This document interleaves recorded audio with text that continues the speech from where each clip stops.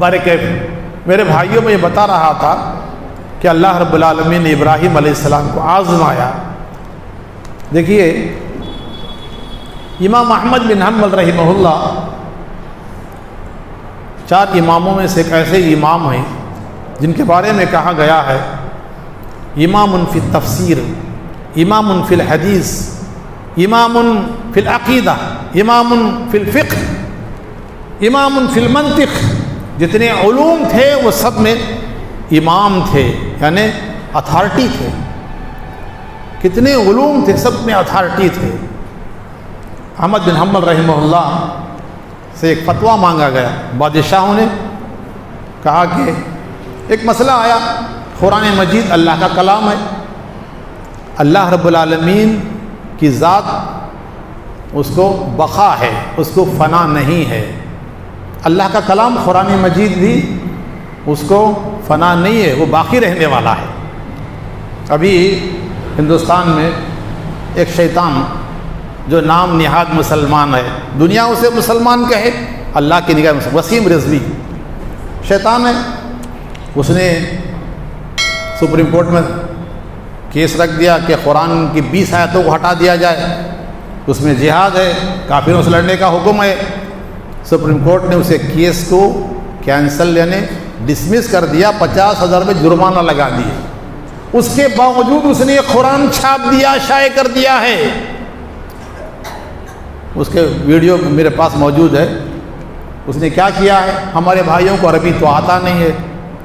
कोई भी ला के कुरान दे दे, समझ के पढ़ ले कुरान समझ के पढ़ लें, उसमें क्या किया है पता है उसको?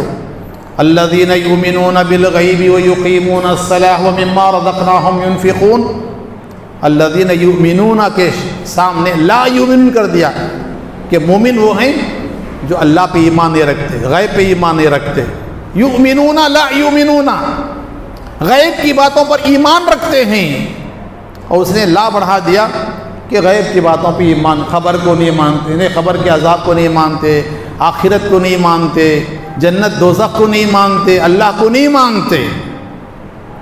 छाप दिया है, तकसीम हो रही है, हमारे भाई सीधे साधे दीन नहीं जानते बरके इमाम अहमद बिन हम्मल रहीमहुल्ला जो थे, उनसे बादशाहों ने कहा, कुरान मखलूक है। सारी दुनिया मखलूक है, सबको फ़ना है, सब ख़त्म होने वाली है, कुरान भी ख़त्म हो जाएगा।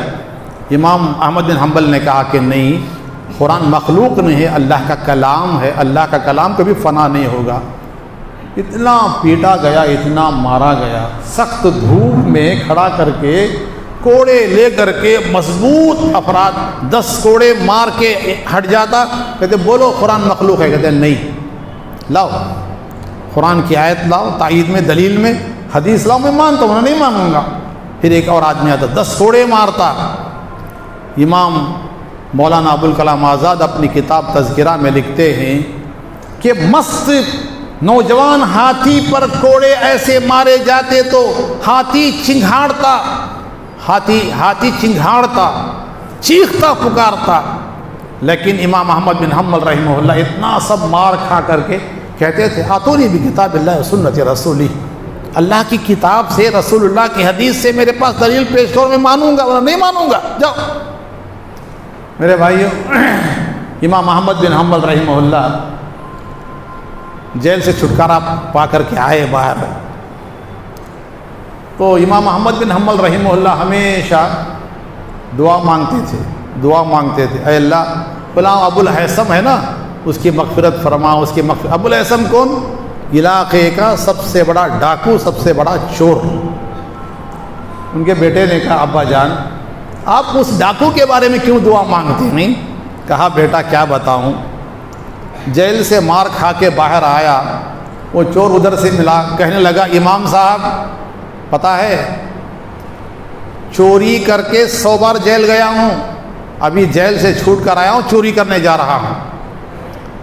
मैं चोर चोरी करने पर ऐसा खाइम हूँ? आप आलिम दीन हैं, दीन की बात पे कायम रहना। याद रखना, इन हुक्मरानों के सामने नहीं झुकना। कहते हैं, बेटा, उसने जो नसीहत एक चोर ने मुझे की, मुझे हिम्मत और इस्तेकामत पैदा हो गई।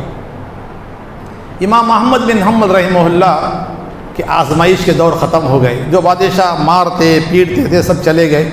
एक ऐसा बादशाह आया, उन पर जो बहुत मेहरबान हो गया। इज़्ज़त इज़्ज़त से नवाजने लगा। एक दिन शाही कारिंदे आए, मुलाजिमीन आए, थैलियाँ उठा कर लाए, घर में रख दिया। पूछा, क्या है ये? कहा, ये अशरफियाँ हैं, दिरहम व दीनार हैं। बादशाह ने आपके पास तोहफ़ा भेजा है, हदिया भेजा है। इतनी ज़ोर से इन्ना व इन्ना राजिऊन पढ़ने लगे। घर की औरतें परेशान हो गई। क्या हो गया? किसका किसका इंतकाल हुआ? क्या मुसीबत आ गई?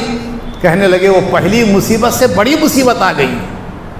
पहली मुसीबत तो मार खाता था, कोई मसला नहीं था, दौलत घर आ गई है। अब जिस घर में दौलत आ जाए, रुपया पैसा आ जाए, डर इस बात का रहता है कि शराफत दूसरे रास्ते से निकल जाती है।